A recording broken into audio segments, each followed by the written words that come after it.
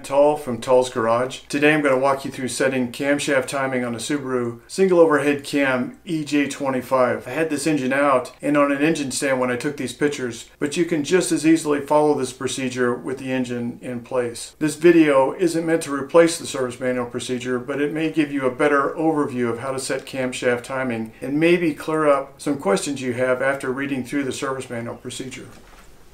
The engine we're looking at on the screen is out of a 2005 Subaru Impreza. Let's start with a quick orientation. In the center is a crankshaft sprocket. Note the timing mark timing mark in the front as well as on the back side of the sprocket. These are in the 12 o'clock position and aligned with a timing mark on the engine block that's right here. EJ25 cam timing is not set at top dead center. With these marks aligned as shown, the pistons are all at mid-stroke. This provides clearance between the valves and piston tops so that you can rotate the cams into the correct timing position without having the valves strike the piston tops. This is camshaft sprocket number one. This is the cam timing mark on the sprocket. The mark is oriented at the 12 o'clock position and is also aligned with the cam cap and the cylinder head matching surface right in here. I'll move on to camshaft sprocket number two. Note the timing mark here. It is also at the 12 o'clock position and aligned with a notch in the timing cover right here. Now, once the, the, crankshaft sprocket and both cam sprockets are aligned, the timing belt can be installed. The timing belt has a dashed paint mark right here. The dashed line paint mark is positioned on the crankshaft sprocket timing mark, just like this is shown in the picture here. The timing belt also has two other painted marks that are solid lines. The mark that aligns with cam sprocket number one is 44 teeth away from the crankshaft sprocket dashed paint mark. It will align with the timing mark on cam sprocket number one and be aligned with the cam cap and cylinder head matching surface, just like it's shown on the picture here. The other solid timing paint mark on the belt for the cam sprocket number two is 40 and one half teeth away from the crankshaft sprocket. It will align with the timing mark on cam sprocket number two right here. I've got another picture, I'm going to change views here, that gives a little bit different view of the cams and the crankshaft properly aligned and the belt in position. This gives a really good view of cam sprocket number one and how the timing mark is aligned and how it's aligned with the cam cap and the cylinder cylinder head matching surface and also you can see that there's a solid painted line timing mark on the cam belt and how it's lined up with the mark on the cam sprocket. We'll move on to the crankshaft sprocket. You can see the dashed painted line and how it's matched to the timing mark on the crankshaft sprocket. And also too you can see cam sprocket number two, the solid painted line with the timing mark on that sprocket. At this point the camshafts are properly aligned and you can now remove the stopper pin from the belt tension adjuster. The pictures that we've been looking at are with the engine removed and with the engine on an engine stand. But just as a reminder, this job can be done in situ. Here's a view of the timing marks correctly lined up with the engine still in the car. To finish up, here's some tools that you may find helpful for this job. To hold the crank pulley while loosening or torquing the crankshaft pulley bolt, I used a Matco Subaru crank pulley holder here on the left.